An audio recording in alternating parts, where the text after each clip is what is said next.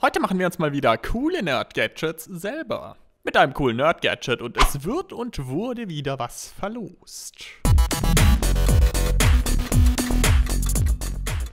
Seit mittlerweile nun über einem Jahr gibt es ab und an mal 3D-Druck als Format auf diesem Kanal. Und ich wurde jetzt zu diesem Video inspiriert, da eines der coolsten Dinge, die ich jemals von 3D-Druck gesehen habe, Teil unserer WG geworden ist. In meinen letzten Videos zu diesem Thema hatte ich ja eher behandelt, was man so Nützliches mit einem 3D-Drucker machen kann, aber man hat sowas doch auch, um sich einen Luxus zu gönnen. Deshalb geht's heute mal eher um coole Sachen.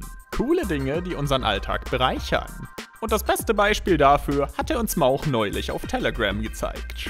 Darf ich vorstellen? Der Wi-Fi-Schlüssel unserer Bude. Er nutzte die Möglichkeit, dass man den 3D-Druck unterbrechen kann und hat dann in diesen Wi-Fi-Schlüssel einen NFC-Chip reingedruckt. Im Übrigen sieht man von der Druckpause nur etwas, wenn man davon weiß und verzweifelt danach sucht. Da denke ich, dass das eher weniger einstören sollte. Beziehungsweise wenn man verzweifelt nach so etwas sucht, sollte man sich eher Gedanken um sein Leben machen.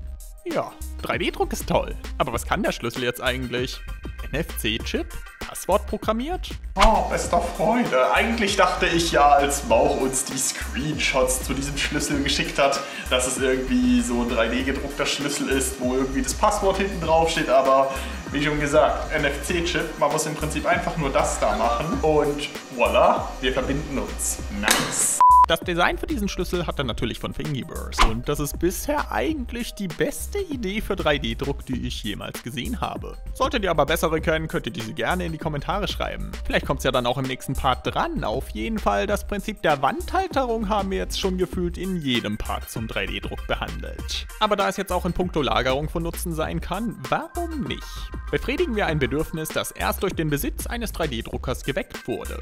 Spart euch das Geld für das Setup eurer 3D-Druck Ecke und druckt euch die dazugehörigen Komponenten einfach selber. Verdammte Scheiße, ihr habt jetzt einen 3D-Drucker. Nutzt ihn auch dafür. So habe ich mir zum Beispiel einen Wandhalter für die Filamente selbst designt und natürlich dann auch gleich ausgedruckt.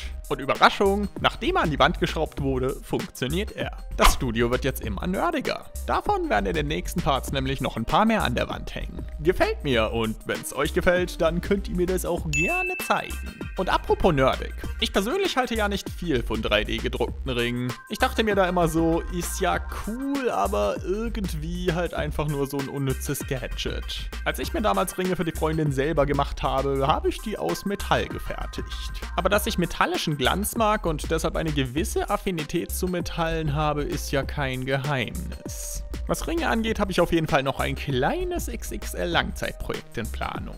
Aber was jetzt kommt, ist was für meine engeren Freunde. Ich liebe diese Nerds. Ja, ich drucke da gerade Star Wars Ringe. Thingiverse. Gerade eben hatten wir es ja noch von metallischem Glanz, aber speziell bei dieser Art von Ringen passt sogar die 3D-Druckoptik. Sieht sogar verdammt gut aus. Ich bin nicht mal dazu verleitet, das Ganze mit Epoxidharz zu überpinseln. Die Rillen wirken hier definitiv ästhetisch. Aber was hält mein Mitbewohner eigentlich davon? Mari! Hello, hello, hello! Oh! Who's here?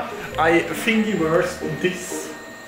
What the fuck? Nice! Der passt halt wirklich perfekt. Oh, dann habe ich gut geraten. Alter, das ist ja mal ultra sweet. Geschenke, bei denen man sich etwas denkt, sind gleich viel mehr wert. Oh, ich bin ein Forscher. Wer mir auf Twitter, Instagram und Co. folgt oder generell das Technikhelden-Format anschaut, der hat es schon mitbekommen.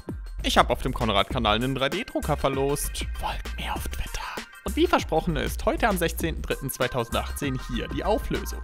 Du hast gewonnen. Glückwunsch, mein Herr. Checken Sie Ihre Nachrichten. Und wenn ich sehe, dass 3D-Druckvideos weiterhin gut auf diesem Kanal ankommen, bin ich auch dazu verleitet, mehr Videos zu diesem Format zu machen. Ich spiele nämlich mit dem Gedanken, so eine 3D-Drucker-Verlosung wieder öfter privat auf diesem Kanal zu machen und das würde das Format eigentlich ziemlich gut begleiten. Aber schauen wir mal, wie es euch gefällt. Ich habe auf jeden Fall ziemlich viel Spaß an diesen Videos. Im Übrigen habe ich mir auch noch den Yoda-Ring gedruckt und was auch ziemlich cool aussieht, ist dieser Green Lantern-Ring. Vor allem mit 3D-gedruckten Objekten habe ich jetzt endlich wieder was, was ich an meine Patreon-Supporter verlosen kann. Da wird es auf jeden Fall öfter wieder was geben. Der Link zu meinem Patreon-Account ist in der Beschreibung. Ach, und meine aktuellen Patreon-Supporter sind jetzt rechts aufgelistet. Dank euch geht's diesem Kanal hier deutlich besser. Schaut jetzt noch mein Video an, in dem ich zeige, wie man die Rillen von 3D-Druck anhand meines Mirabla-Blumentopfes entfernen kann und abonniere, Tech-Taste, aktiviert die Glocke.